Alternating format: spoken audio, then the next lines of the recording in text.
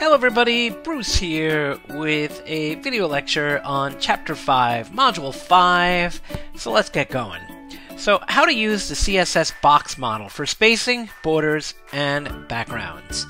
Um, couple things, right? The applied objectives are given an HTML document, create CSS style rules that use the CSS box model to apply spacing, borders, and backgrounds. The knowledge objectives are describe the use of the box model, explain how the box model can be used to control spacing between the headings and paragraphs on a page, describe the effect of collapsed margins. I know there's a quiz question on that. Describe the use of a reset selector. Describe these properties for a block element in a box model. The height, width, margin, padding, border, background, color, and background image. And describe these CSS3 features for formatting boxes, rounded corners, shadows, and background gradients. So the box model, it's a core concept. In fact, let me just um, bring up um, not that. Let me bring up Chrome, if I can escape out of here. Bring up Chrome.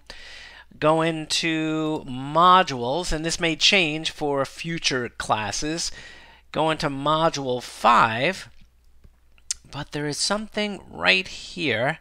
Read, watch the box model explained. All right, and I created actually earlier today this 16 minute 16 minute video that goes through and demonstrates the box model. In fact, I actually give you some code here that I use in the video so you can follow along with me. All right? So let's talk about the box model.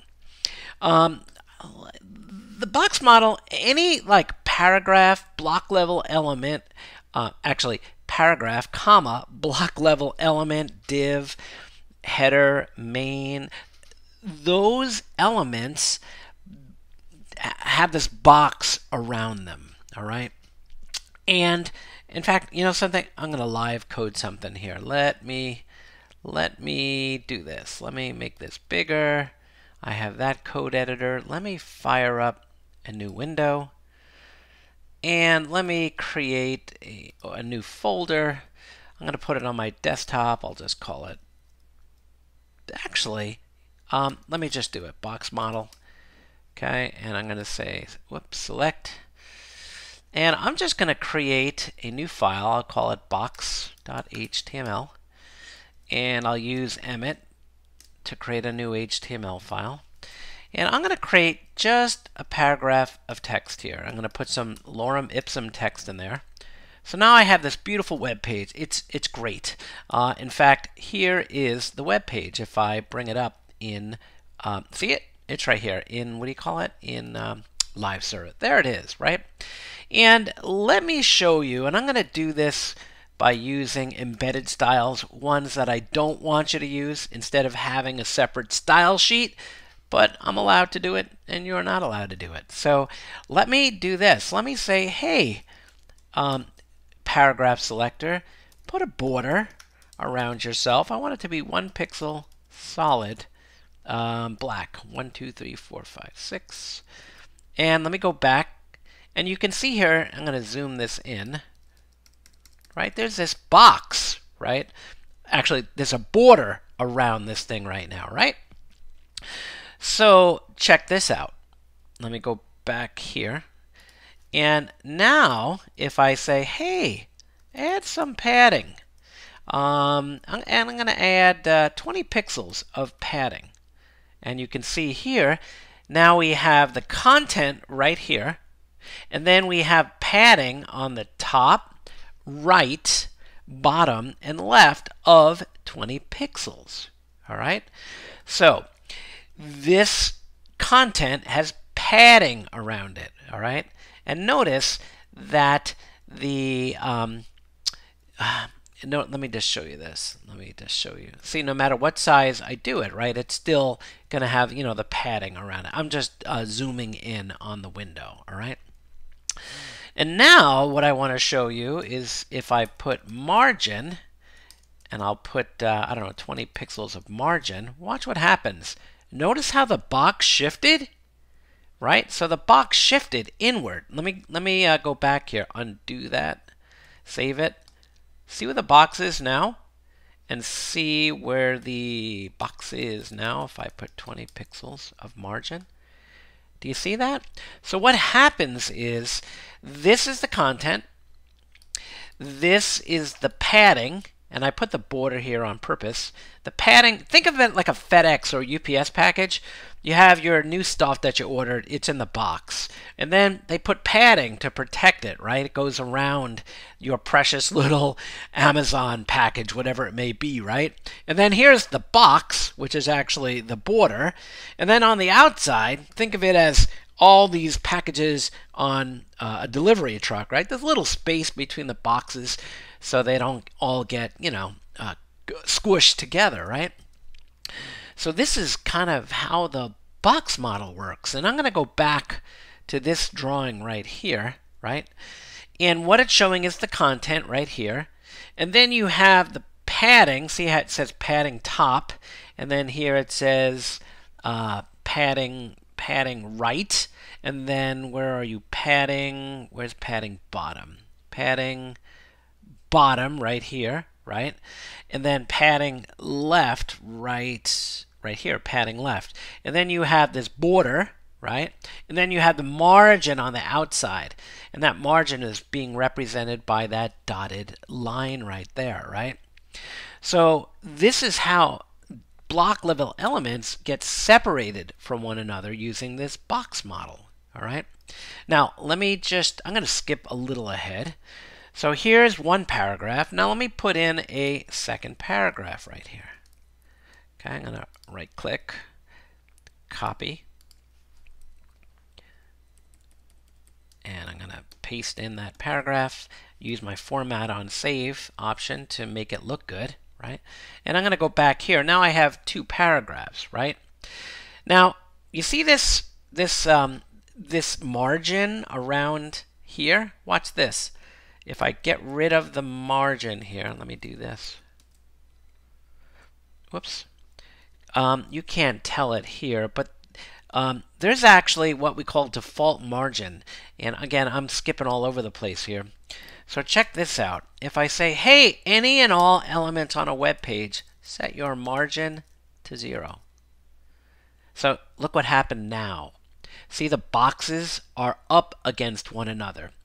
That's because, and this is called a reset, by the way, it's a little further on in the slide deck, but now these boxes are kissing. They're right up against one another because we set the default margin for all elements to zero. By default, browsers do put in margin around certain elements to, um, to space them apart. So now if I go down here and I say, hey, margin 20 pixels, I'm getting 20 um, margins, uh, 20 pixels of margin. All right.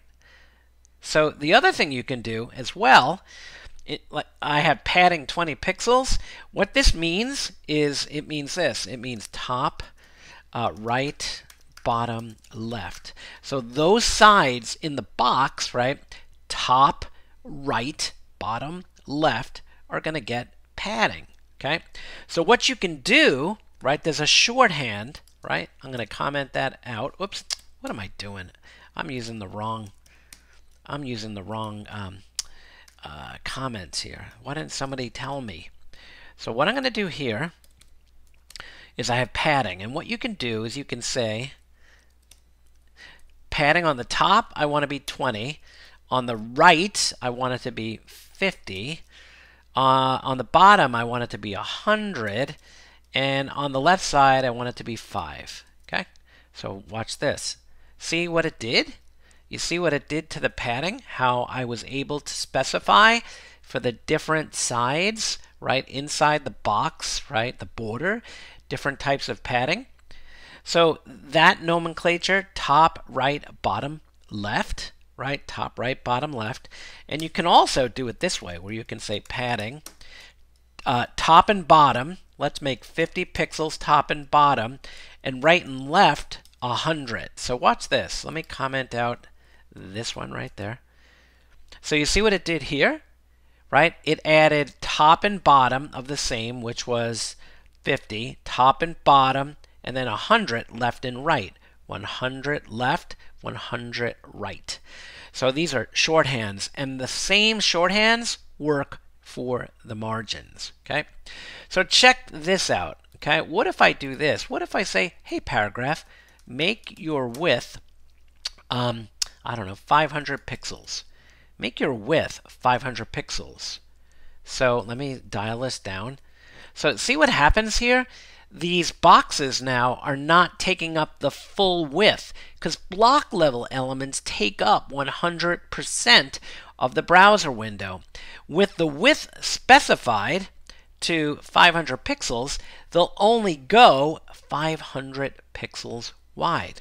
Okay, so let me just backtrack a little and I'm going to say padding 50 pixels all around. Actually, let me leave this here and I'll say padding of 50 pixels 50 pixels all around okay? Whoops this one. So we have 50 on the top right bottom and left. Now we specified that this element should be 500 pixels wide. You see that right there? So we have a 500 pixel width we have a 1 pixel border and then we have padding and margin.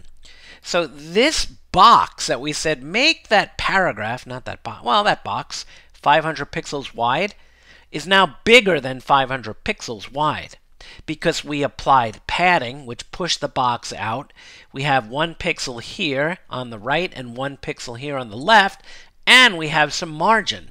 So the width of this element now is actually the margin plus the left border plus the padding, plus the content, plus the right padding, plus the width of the right border, plus the right margin. Ha ha ha ha. Yeah. So just know that. There are other ways we're going to learn in the future to use what's called box sizing to uh, change that behavior, but there you go. All right. So back to the box model. All right. So this is what I just covered, uh, where you you're calculating. I didn't do the height, but I did the width of the box. The um, the uh, height is the same thing. All right. Um, and here is just from the textbook, right? They have this box model. In fact, I think I have this code right. Uh, no, it's not there. Uh, is it right here? Let's see box model. Here it is. Here's the code, right? It's right from Canvas, by the way. So if you go into Canvas, I know I'm going all over the place here, but if you go into Canvas, I actually give the code that I'm using in my demonstration right here.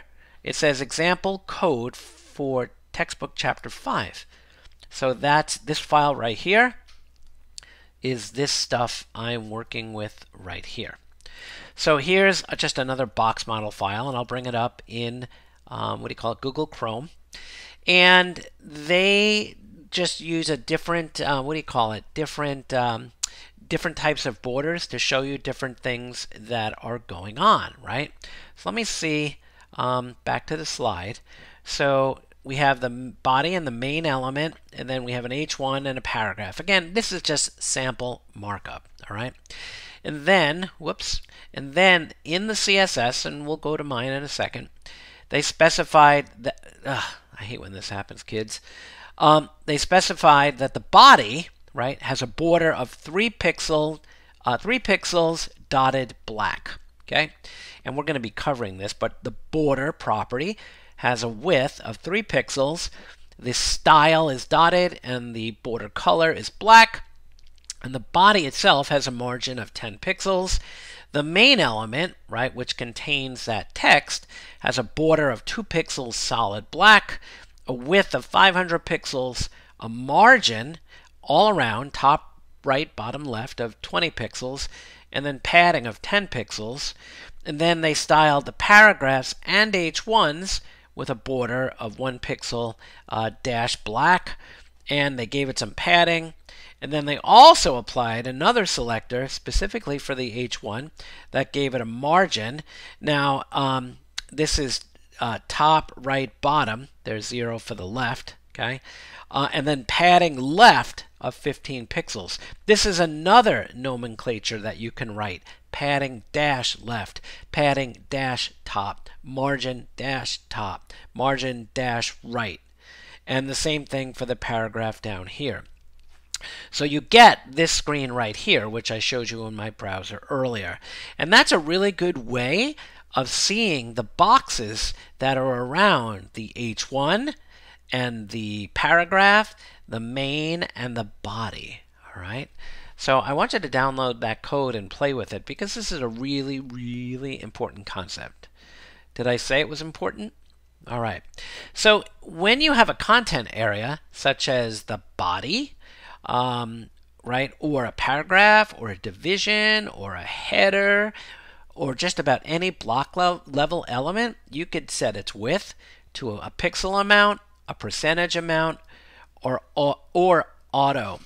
Um, so let me just show you that for a second, this auto stuff, because I think it's important for me to go over. Let me go back to, was this our little thing here? Yeah. So let me just show you this page for a second. There's that. Now those paragraphs are on the left-hand side of the screen because they, um, that's just the way the page is now. And my, what I want to show you right, is I'm going to say, hey, body, you're 1200, oh, wrong screen, right, right, no, is it this one? No, this is something else. Here we go. Sorry about that. I have a lot of uh, screens up. So we don't have a selector for the body, so let's put that up, body. And then let's give that whole page, that body, a width of, I don't know, 900 pixels. And then let's say margin on the top and bottom is zero, so no margin. But the left and right, we're going to say auto adjust. So watch this now. Watch this. Let me find my win. Ah, look at that. So the reason why they're showing um, like this is because I have some margin set. So let me go back. Uh, let me go back here to this margin and just cut it out for the paragraphs. Whoops. And why is my page, why is my page uh, looking not perfectly centered? Let me go back, see what I'm doing wrong. Okay, uh, width 900 pixels, margin, paragraph width, padding. Huh, what's going on? Oh, oh, oh, oh, oh, oh. Body, body width 900 pixels, margin, did I spell everything right? Zero auto, and I gave it a width. Okay, so let me just, actually, let me just comment out this stuff for a second. Whoops. Let me just do this. Let me get rid of the width. Okay. Let me get rid of the border, and let me get rid rid of padding, and go back to my Okay, those are centered. Do you see that? You see those paragraphs, how they're centered on the page now? So let me step back into it a little bit, all right? So I'm going to say, hey, let's go back and give our paragraphs a width. Okay. Now the the issue going on here. Let me uh, let me show you this. Okay. So the width is 500 pixels. Okay. The width is 500 pixels. Uh, actually, I'm just having a brain fart here. Why? What's going on here? Margin 0 auto. Oh, it's because I gave them a width. So let me just do this. Let's get rid of this width. Okay? There they are. There's our beautiful paragraphs. It's because I gave it a width, all right? And it was making it was stopping there. So that's my fault, all right? I'll own that, all right?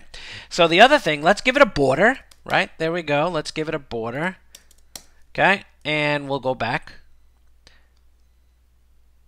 there, see, we have our border, right? We have no margin or padding right now, right? And then, sorry, I'm just really having a bad scrolling night. And then let's give it some padding, okay? But let's give it just all around, I don't know, 100 pixels, 100 pixels. See that? So now, by using, getting back to the point here, setting a width on the body and setting the right and left margins to top and bottom is zero, um, right and left is auto, we can get centered content on a page. Do you see that? Do you see that? That's that's uh, that's that that's what you want to do, right? If you want to have a page that's like that, most pages are like that, right? And if you change the width to say I don't know, 1200, right? You can see the page uh, expands. All right. So uh, yeah, so that's what we were covering over here with this auto.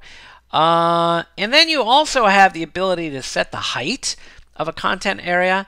Um, so if I wanted to set the height of these paragraphs to, let me just be careful here, height, I don't know, 300 pixels. See how big they, see how high they are now? We changed the height. We changed the height. You see that right there? Height is now changed. And if I make it half that height, right, 150, right? You see that? You got that? But what's happening is, since we have this padding here, it's actually pushing out the box. It's pushing out the box. So if we get rid of that, you can see everything gets to 150 pixels. Because remember, everything's additive. It's the width defined plus the padding, top and bottom or right and left, and then the border and then the margin, right? All right, I know it's confusing, but watch. I have two other videos in Canvas on this stuff, and you'll totally um, you, you you gotta play with this stuff. That's how you're gonna get the muscle memory working. Shorthand margin dash top half an m margin. Look at that. Margin dash top. These are other shortcuts, uh, shorthands. Margin dash top, margin dash right, margin dash bottom, margin dash left.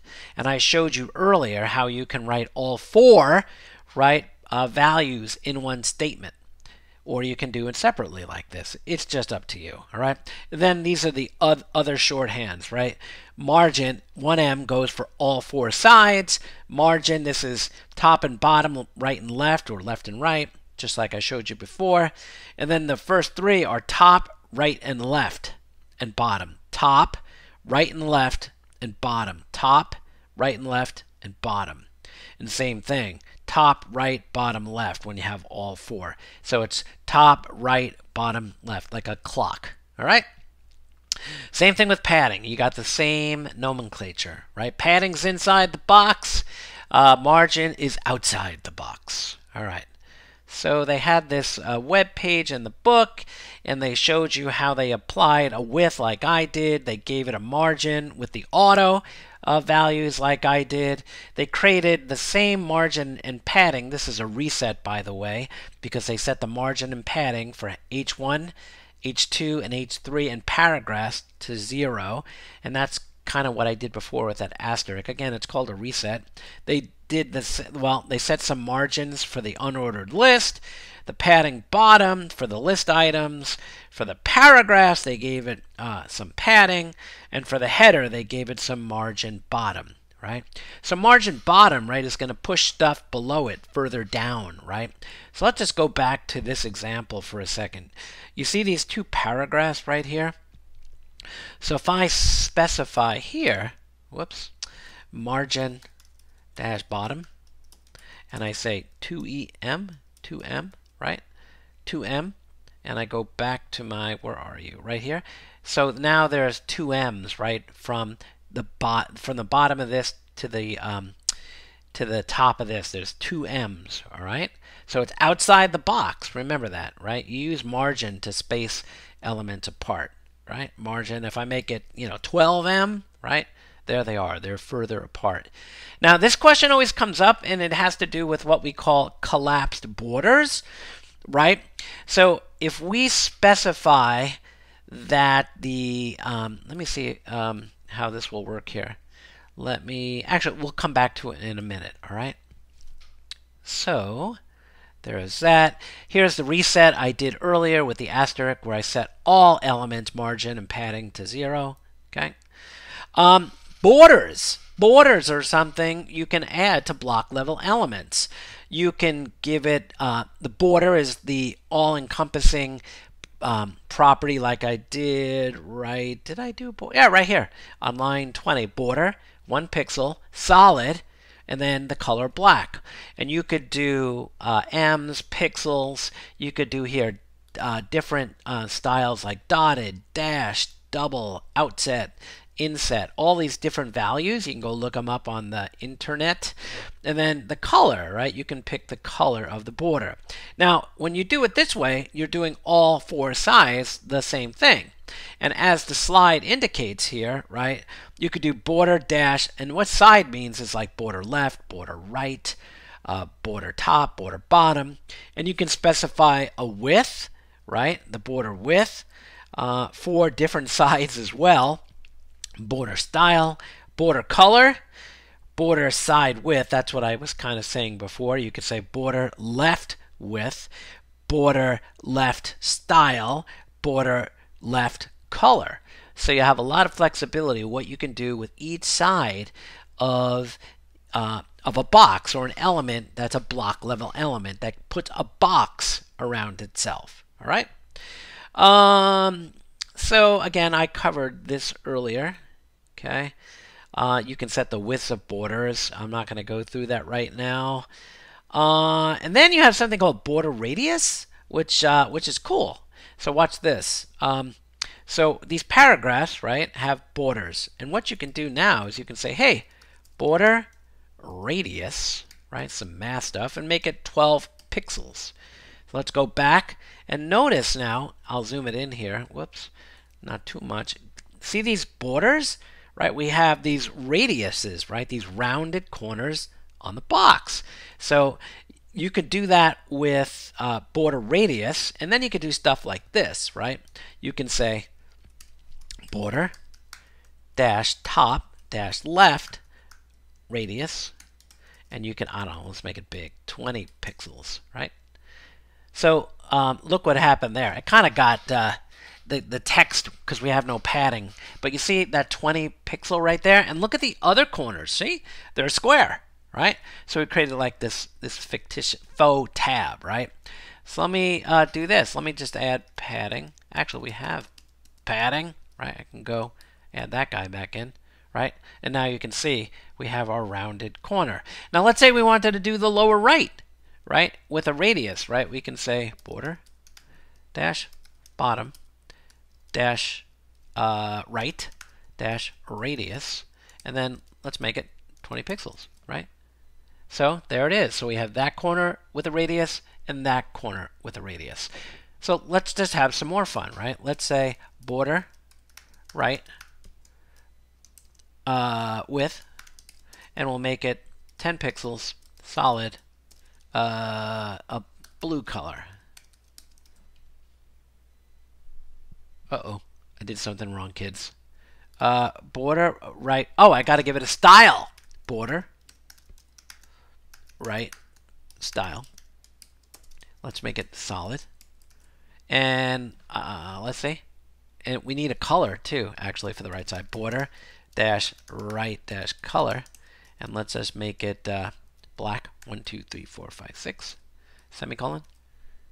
And we still have no. So what did Bruce forget? Border right width, border right style, border right uh, color. What am we missing here? Border right width, style, color. Uh, oh, look at this. This is wrong. Let's do this. This is wrong. How come nobody stopped me? See? Now we got it. See how we have that thick border on the right? So we could do the same thing, right? We can say border dash left dash width. And if we if we say 20 pixels, remember, right? There's nothing, whoops, there it is, right? There it is, right? It's going to take the default that we set up here for border, right? So there you go. Play around with this stuff. You know, I can only talk about it so much, but you know, it's not like wood shop where you're going to cut wood and waste it, or metal shop, right? Eh, you know, just play around with this stuff. All right, all right, all right, all right. Uh, so we covered all. A box shadow, box shadow. So check this out. Let's do some box shadow. Um, I'm going to get rid of these crappy borders. All right, crappy borders. Border, border, border, border, border, border, border. And let's go back and we have our pretty little boxes, right? And now if you say this, check this out. Doesn't matter where you put these rules, right? Box dash shadow. And let's make two pixels, two pixels, two pixels, two pixels, and we'll make it uh, da, da, da, da, which is a gray. So see what happened? See how we got this this small little uh, shadow going on there? If you increase it, uh, if you increase, this is the blur, I think. Hold on. Is that? Yeah, see it's a little bigger. Uh, let me make it uh, 4 pixels, 4 pixels, 8 pixels. So you can see how it, you know, got a nice, nice drop shadow there. You see that? And that's that's kind of neat. In fact, uh, you're going to be using that a lot. I like a, a nice subtle drop shadow. Um, so the way the drop shadow works, bing, is uh, box shadow. It's the horizontal offset, the vertical offset, the blur radius, the spread, and the color. And I want you to play around with those to see how these various things work. Because again, if I if I explain it to you, you can't memorize it. You gotta like make mistakes. All right. Uh, border radius, box shadow. So there is like a like a little HTML area that they have. They have the right uh, top left top right, bottom left corners with a radius. They have a double border and then they have a box shadow going on. So there you go. You can create these little uh, things with these block level elements. It was a section that they styled that way. All right. Um, background. So you can take right a paragraph. We have a paragraph going on here, and I apologize for my sloppy CSS. Um, by the way, this came up Notice how I format my CSS. I put the selector, one space, the opening seagull or brace, and then I like to have all my CSS indented just, just like that. All right, I'll show you more of this shortly. All right, so check this out. So uh, color, is it background? Oh, we're doing background color, right? Background. So let's just make it black. One, two, three. There we go. And if I do that, uh, Where'd our text go? It's there, see? But now we need to say, hey, set the color, right? Because color is for the font, and make it white. Ah, now we have our text. So we can affect the background color like I did just here, right? Using the colors that we learned last week. Right now, this is a simple color. It's not RGB, RGBA, HSL, or HSLA like you learned last week. Um, you can use background images too, and background repeat, background attachment, and background position. Whoops, I don't know why. There's a ghost, ghost in my machine. But let me show you something I was playing with right here. Is this it? No, it's right. No, where are you? Uh, come on. I know I have the demo here somewhere.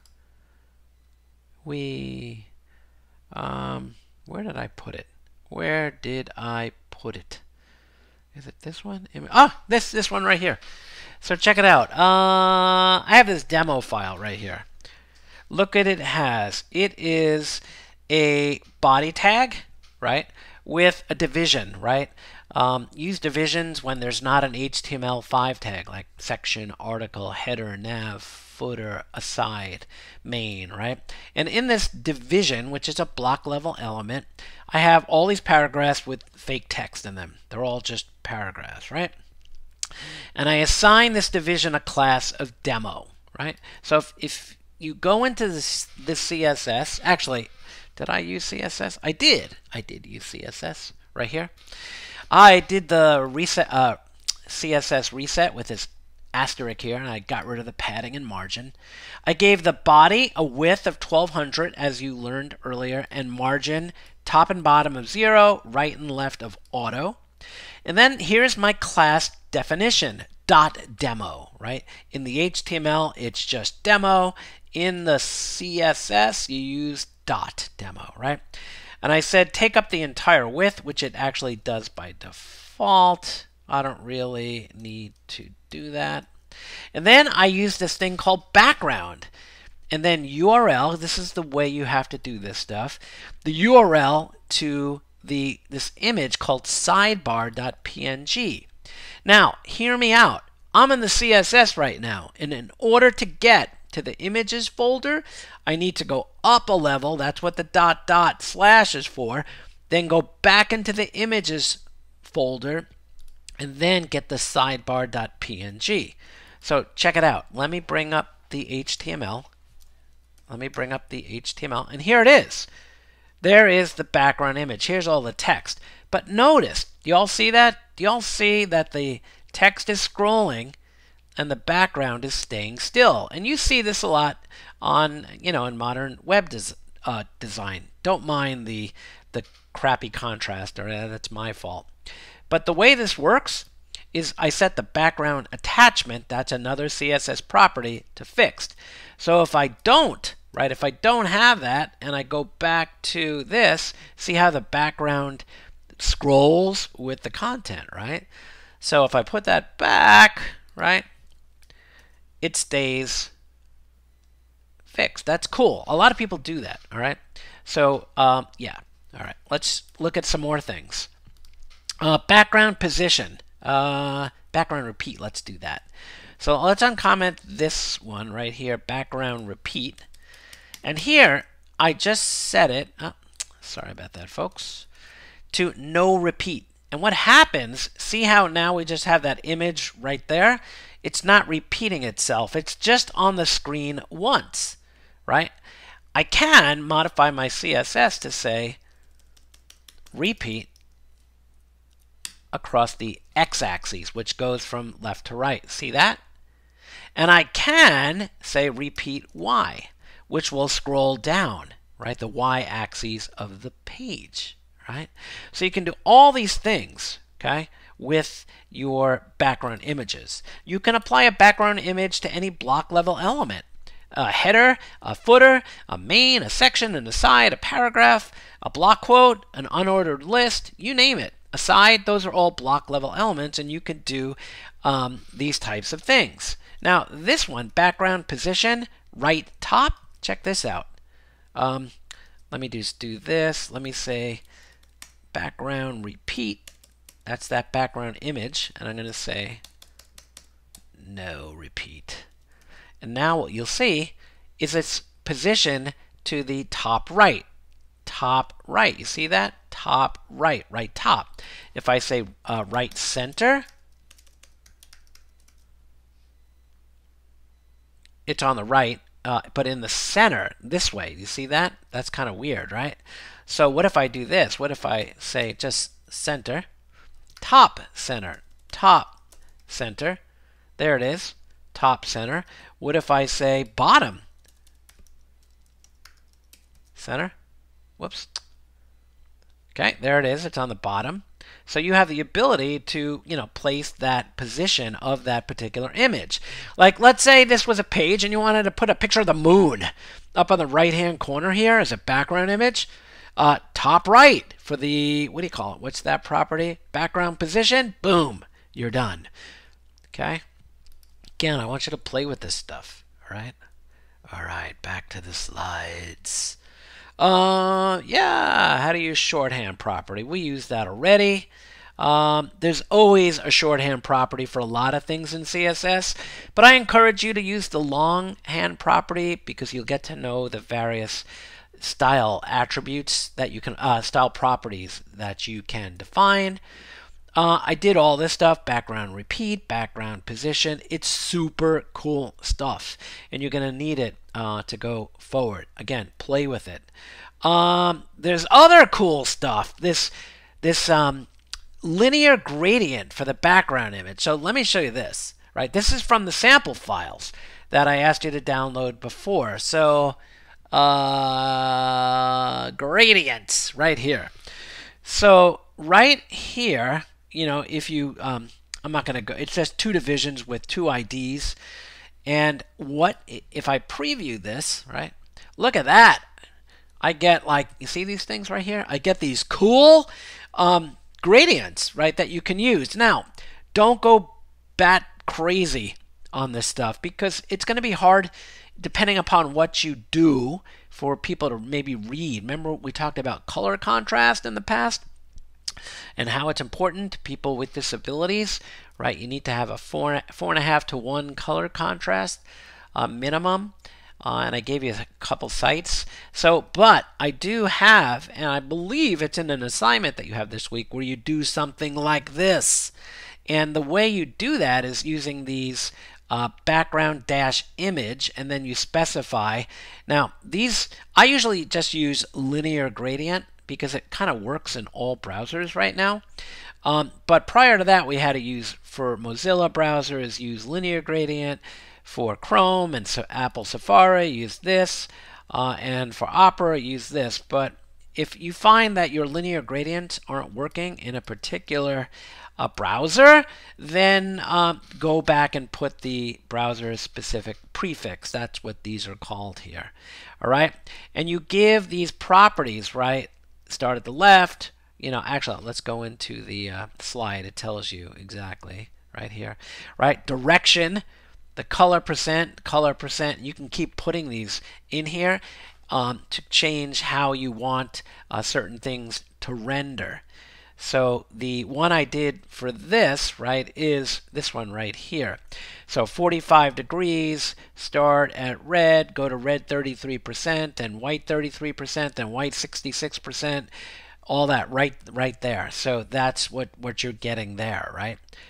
Pretty cool, right? But again, don't overdo uh, it or abuse it. So go in and play around with the, the values a little bit um, and uh, see how you make out. There's also a ton of resources online for these gradient backgrounds. Okay. Um, yeah. So background image, we did all that stuff. Yeah. So do you remember this page, the Sorkin page that you did? Uh, probably uh, shortly, I'm going to have you uh, finish the CSS to make it look like that with a border, center it, uh, pull these to the right with text alignment. Whoops. Uh, put a horizontal rule or a border at the bottom of something. Yeah. All right. So that's that. Okay. That's that. Um, let me go back into um, Canvas. Okay. Let me go back into. Um, let me get out of full screen mode here. Wee. Um, let me go here. Clark College. I apologize if I'm talking a little fast. You can dial down the speed on the Google, I mean on the YouTube, right? When you watch these videos. Or I know some people speed it up. So, um, again, this um, I put this in here. This is all the HTML tags we've covered. And if anything here doesn't look right to you, go back and and look it up. Write it down. Like like write it down and or just go try it in your browser, right? And I did put all the new CSS that I just covered in this uh, video. It's right here, all the chapter 5 CSS, all right? All the tags we've covered from modules 1 through 4. There were new there was no new HTML tags in uh, chapter 5, just so you know. All right. So lecture videos going here, Zoom meetings. I'm going to have, uh, if you're watching this video in the future, they may change, but Saturday and Sunday, okay? There you go. Um, what else? I gave you some additional resources um, that I want you to go uh, look at. One is HTML, HTML5 semantic elements. So when I say semantic elements, what's a section mean? What's an article mean? What's a side mean? The structure of your HTML page uh, regardless of your CSS, has meaning. Think about search engines. They, they're not looking at your pages, uh, looking at the colors and the position of everything. They're looking at what we call the semantic markup. Uh, forcing a browser refresh. When a lot of you are working on your assignments and you're looking at the page, say on the CTEC server, things aren't changing. You know you changed your CSS or your HTML, but things aren't happening. So you want to go here and learn about forcing a browser refresh, which will reload your HTML and reload your CSS. Different ways to format CSS. Uh, I explained in this uh, earlier tonight how I like to format my CSS. Um, So go look at the various ways. Be consistent with whatever you do. Don't be sloppy. Uh, I heard that a lot when I was in school because I have crappy handwriting, and I still do. Um, and then there's this great site called Can I Use? And uh, what Can I can I use does is if you type in some CSS or HTML, it will tell you whether the browser you're trying to like make your code work for actually works or not in that browser. So that's a super cool site. Um, so that's that. Then I have um, just the typical stuff: read, watch, the box model, uh, how to saw. Yeah, this stuff is just all reading. But then I need uh, two things. I need for you to submit screenshots of your format on save and HTML tag wrap extensions uh, working in Visual Studio Code because I'm seeing code being submitted that's not formatted correctly. Uh, and I think uh, a lot of people have not set it. Again, it's in the prior module, module 4. Go look it up. Same thing, I need the HTML tag wrap extensions, uh, extension installed. Uh, actually, this is a little wrong. It's just the tag wrap extension. All right. So this is non-graded, but I'm going to hold you back if you don't submit uh, screenshots showing that you have those things installed. Sorry, Charlie. All right. The next thing is the one web development assignment for week number six. I have a video overview of the assignment, so you need to watch that first. And then what you're going to do is you're going to build this fictitious Gale Ujifusa Realty Incorporated. So this site has um, a header, an H1, a main, an H2, a section, an H2, some paragraphs. I see some different colored text here using a span and a class. I see emphasized uh, bolded text here. I see a bunch of links here that need to be styled to be black. Again, another section with an H2. I see uh, an unordered list there, unordered list there. I see some text here. Again, these are all different sections of the web page. I see some justified text on this section. I see another unordered list. And by the way, I see rounded corners. I see rounded corner, rounded corner, square corner, square corner, square corner, square corner, rounded corner, rounded corner, center aligned text. I see some spacing uh, here with a margin and some spacing there. That's all on you.